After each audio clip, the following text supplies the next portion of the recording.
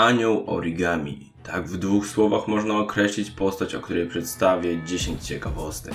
Zapraszam do oglądania.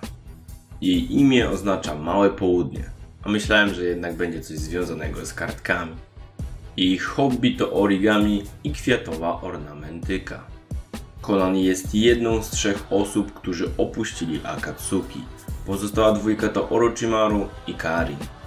Conan nie nosiła ochroniacza na czoło. Nosiła go jedynie, gdy należała do gangu Yahiko.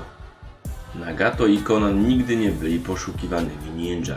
Wynika to z tego, że wygrali oni cywilną wojnę w Amegakure, po czym Nagato objął władzę. Najbardziej lubiła pieczone ryby, a najmniej karage. Chciała walczyć ze wszystkimi, którzy sprzeciwiają się Nagato. Masashi Kishimoto przyznał, że planował od początku to, że Konan będzie jedyną kobietą w Akatsuki. Konan ma taką samą datę urodzin, czyli 20 lutego i grupę krwi jak Yahiko. Nie uważacie, że to niezłe kombo? Tym bardziej, że ich grupa krwi to zero.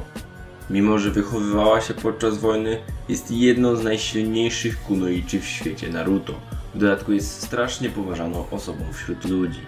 Mam nadzieję, że ciekawostki spodobały Wam się. Dajcie znać w komentarzach o kim chcecie następne. Trzymajcie się, na razie, cześć.